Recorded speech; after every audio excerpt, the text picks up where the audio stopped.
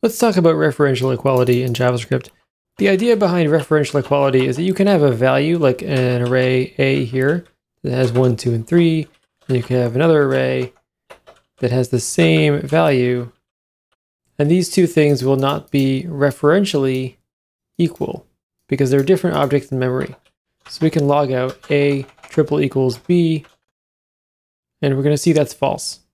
One place this idea of references is really important is when you're passing values to a function.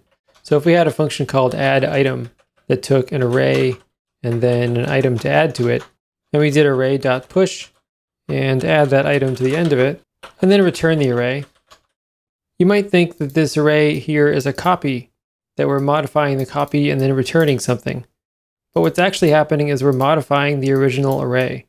So if we were to say log out the array A and then call add item, we'll pass in the array A and another item to add like the number 9, and then we log out A again.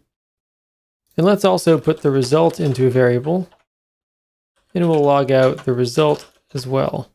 So what you might think would happen is this would print 123, this would print 123, and then this one would print 1239. But what actually happens is the first one's 123, but then once we've called add item, we've actually modified the original array A here. So while the result is actually 1239, like we expect it to be, we've also modified A. The other consequence of this is that the array that we've returned is actually the exact same thing as the one that was passed in. So if we were to log out A triple equals result, we're going to see that that's true because these two things, even though they're different variables, they point to the same array in memory. This all leads to another related topic, which is the concept of pure functions. So this add item function is not pure because it modifies one of its arguments. A pure function would not modify its arguments, and if it was going to change something, it would make a copy and then return that copy. So if we made a new function called add item pure, and it takes an array and an item. One way to make this pure is to create a copy. We'll put it in a variable called copy.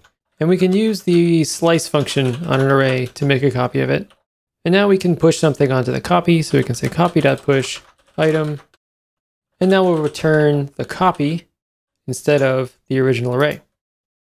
Now let's change the code we have here. So we're going to log out A.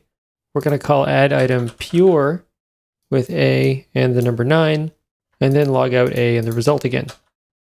And now we're going to see the first time it's 1, 2, 3. That's here.